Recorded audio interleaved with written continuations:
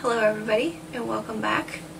Today I'm going to tell you guys about my Cape Cod trip and I'm going to show you some of the things that I bought there. I figured what I would do because I looked at some of the footage from the trip and I have a lot I suppose I could say. I was going to say I have some but I do have a lot but believe me you don't want to watch all of the footage I have. It's kind of boring especially the ride up there and then once I got up there, I really failed at it, and I apologize. I really wanted to give you guys something to watch, and I just, I'm not good at taking video of things. But I'll, I'll show you what I do have, and hopefully you enjoy it. And I did want to show you some of the things I bought there, because some of these things, at least to me, are pretty cool. Some of it will appeal to the female audience a little more.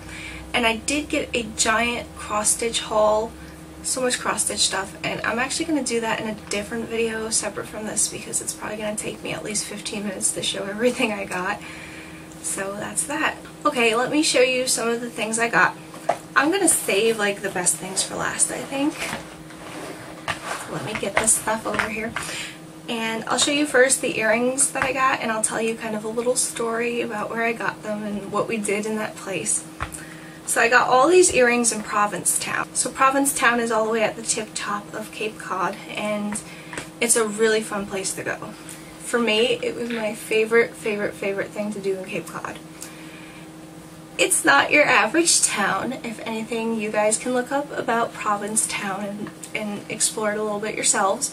Um, it's got very, very, very nice people there and it was a lot of fun. But the best part for me was Miss Richfield 1981. If you guys ever watch Cake Boss, the show Cake Boss on TLC, you probably saw her. She wanted a cake for the holidays to jump out of for her audience. She's a drag queen and she is so damn funny. We actually got tickets for her show, I think it was three or four weeks before we went to Cape Cod, and I was a little hesitant to go at first. I'm like, I'm going to be so uncomfortable doing this. It's not that I'm not, believe me, I am left wing, okay? I'm not like, oh, I'm so afraid of these kinds of people. No, I'm like the farthest thing from that. It's just, I thought it would be like a very sexual orientated kind of show, very perverse, very uncomfortable for me because I'm kind of reserved like that. Believe me, I am. And I thought it would be a little odd. But it was very, very funny, and she is very, very nice. We actually got to meet her before the show. She was out in front of the venue that they had it in, and she was meeting people and trying to get people to come and buy tickets.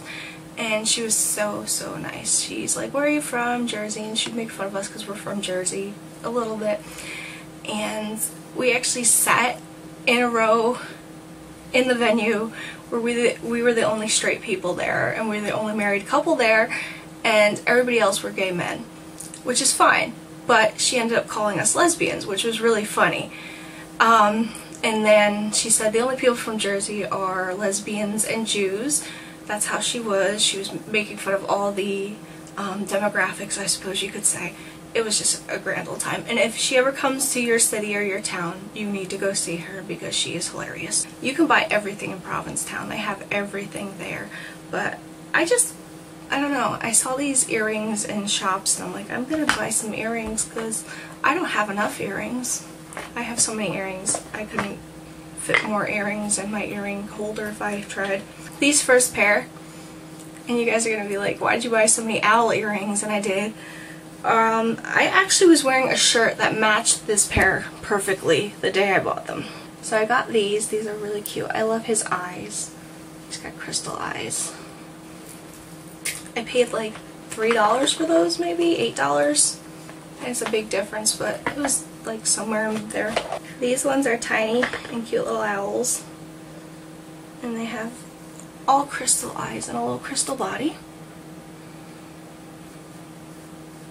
I'm sorry if my nails look like crap, but I need to do them and I don't have time to do anything in the last couple weeks. And you probably saw these um, owl earrings in the last video, I'll show you a close-up. I think these are my favorites. They're cute. I love owls. Hootie hoot. Another thing I got in Provincetown, actually in the same store that I got those three pair of earrings, is, and you're going to be shocked when I say this, a little owl. I'm actually going to put him right up here. He's going to sit up here next to, do you guys remember him? I still have him. I think we called him Blinky and Chester and I don't know, Mr. Ghost Bones Man, you can call him. I don't know. I got this duck there too. Don't laugh at me. I like random things. This little duck with the owl. This is actually for my dad. I gotta give this to him tonight when I see him. In another jewelry shop, I got another pair of earrings, but these ones were a little more expensive. They were $22. Not too expensive, but, and they're wampum. Wampum earrings. And here, let's let you take a look. They're crabs. At the time, I really liked crabs. And I do like crabs, but at the time I was like, oh, I gotta have these crabs. I love crabs, but I still like them. They're cute. They had like little intricate dangly earrings there too. I kind of wish I got those ones instead now. But these are cute. I don't regret them. But what this is is quahog shell from quahog clams. And that has a huge history in Cape Cod. The Indians there used to trade it with people. And there's like a giant story in here.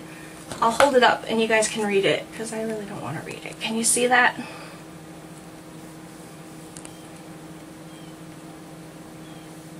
Okay.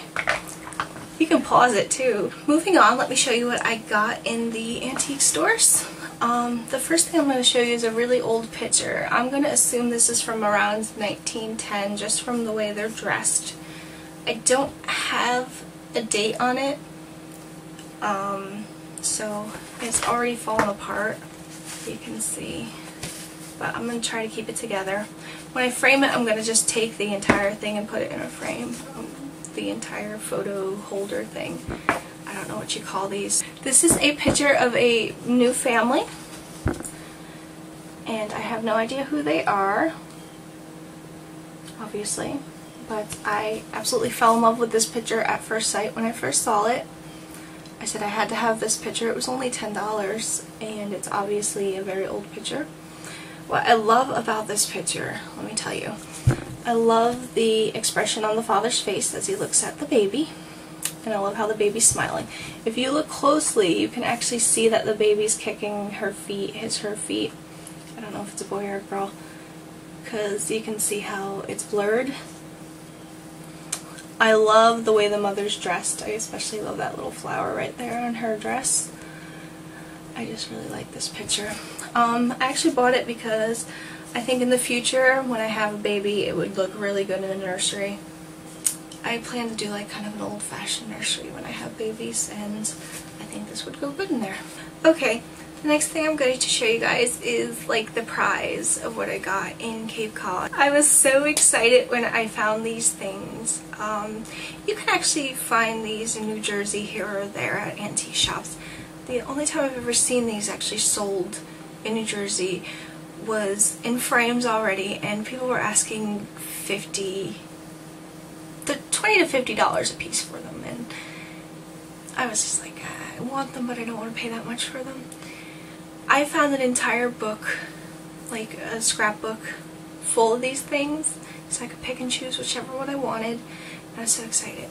What these are and I call these Godey girls or Godey fashion plates I heard them called Goody or Gaudy. it's G-O-D-E-Y and these actually come from one of the first ever women's magazines ever published. And what a Godey magazine was was is like a fashion magazine kind of like we have Allure and Cosmo and Glamour today where it would come out once a year and you would get your fashion trends from that it was very useful to dressmakers and just the ladies would be able to look through it and because you couldn't just really go to a store and be like I want that dress, I want that dress, I want that dress you'd actually have to have someone make you dresses, custom fit you and this is how they found fashion trends. I love the Victorian era and especially 1840 to 1870 is my favorite time for fashion and these are a gem for me. I'm going to actually have these framed, mat it and framed, and just hang them somewhere, maybe in a woman cave or you know, just where they're mine.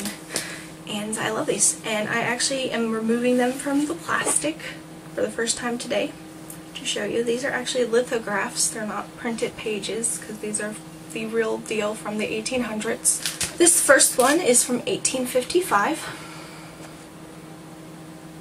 And these would actually be, I believe, walking out costumes, which is kind of like what you would wear just to go outside. Obviously she has a parasol and a jacket or a shawl or I guess that's a jacket. Very, very pretty. I want to show you in the order of my favorites. Mm, this one is from 1854, especially like the yellow dress. Very pretty. Whoever took these out of the book actually cut. They usually had a title each picture. They cut most of them the title off of them. I think one of them has the title. It is what it is. It's a shame that they cut them at all. They should leave the books whole and sell the books. I would buy the books. You can get the books, but um, they're expensive, very expensive. Maybe one day I'll get one. I'd like to read through it and see like what was trendy, what they had in there. That'd be pretty cool. This next one looks like ball gowns and it's from 1854 again. This is my second favorite one. And I really like the white dress in this one. Um, and this one actually does have a title. It's the whole page it looks like without being cut. It's called I Think I Will Do. And it's very pretty. It has a wedding dress in it and just think about it. Back in the 18, this one's from 1855. Did I tell you guys what the last one was from? I don't know. This one's from, the last one was from 1855 too. If you were getting married in 1855, you would actually have to look in a book or a catalog like this, and you'd have to pick your wedding dress from that, from a picture or lithograph, and have someone make it for you. You didn't go to David's Bridal and try it on and try on 15 dresses and pick which one you like the best and have it fitted and like five fittings like you do nowadays. You would pick it out from a picture and have it made. And this one's my favorite. I really like the dress, the wedding dress. I like the veil too, but I don't so much like the cap. But there it is. Actually, let me tell you one story about the shop that I got the Godey girls in. I was actually proposed marriage to in that shop. It was so adorable. Much to my dismay, my husband's a big coin collector, and they sold, sold coins in that shop where I got the Go Godey girls, and we were there after they closed one day. They set up an appointment for him to come in and talk to the owner to negotiate some sales for some coins. And I was actually in there, and I was talking to the lady while we were waiting for her husband to come home to do the coin sales, and she had brooches and cameos from the 1800s in her um, case. And I'm like, I really want to buy a cameo one day, and I'm, maybe I'll do it today. And I was looking at them. And I saw that she had mourning brooches in there. Not like mourning, like good morning, like mourning, like you just died. And mourning pins, and I was just like, I really want one of these, let me look at them. And it was funny because she put a whole bunch of mourning brooches on the countertop and she walked away. So this little five-year-old little boy was in the shop and he didn't say much to me before then. And as she walked away he actually came up to the other side of the counter, he pulled a chair over, he got up on the chair, he took all of the mourning brooches, threw them back into the case, jumped up onto the counter, jumped on me, so I had to grab him or he would have fell on the floor. And he's like, carry me. So I'm like, Okay, let me show you a picture of him. His name's Caden. So I'm carrying him through the store and he's petting me and you know whatever. He's like pretty and I'm like okay and he's like you put the clarinet together for me so they had a clarinet there and I'm like I don't know if your grandmother will let me do that and she's like, yeah, he plays with it. So I put the clarinet together for him. And I'm like, you know, I used to play clarinet, so I know how to do this really well. And he's like, play it. And I'm like, I can't. It's not, you know, my clarinet and it doesn't have a reed. And he's like, here's the reed. He takes the reeds out of the box and I'm like, I can't lick the reeds and put it on there. It's dirty. Someone wants to come in and buy it. He takes me all around the store and he's like, there's spiders. And I'm like, yeah, I'm afraid of spiders. And he shows me like, there's daddy long legs in the corners. And the lady sounds really embarrassed, but it was alright because that happened. So finally he takes me over to like a display where they have cheaper rings that aren't like silver or gold and they're just fashion rings and he picks these two rings up and then he takes me by the hand and he walks five times around the entire store yelling, marry me. So like finally I'm like, yes, I'll marry you, okay. He puts the ring on my finger and then he goes over to the tape and he takes tape off and he tapes it to my finger so I can't take it off. Here's a picture of it. Here's a picture of his ring. So I spent about two hours carrying this kid around and playing with him and he was just adorable but he was a ball of energy and when I left I gave him a hug and kiss and he cried and he cried and he cried and he cried but it was it was fun. It was a highlight of my trip too. He was a lot of fun. Maybe one day he'll see this video and he'll be like, there's my wife. I hope you enjoyed this video. It was um, a fun trip. I had a lot of fun. As far as going back, I'll probably go back one day, but I'll be honest with you, a lot of people in Cape Cod are not very nice.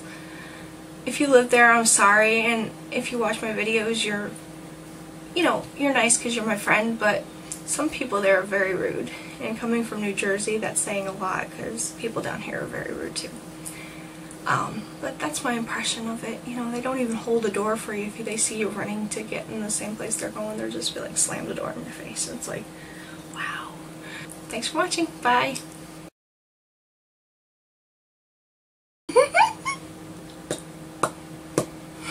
Top of Cape Cod. Excuse me. Oh, that's okay. What am I trying to say here?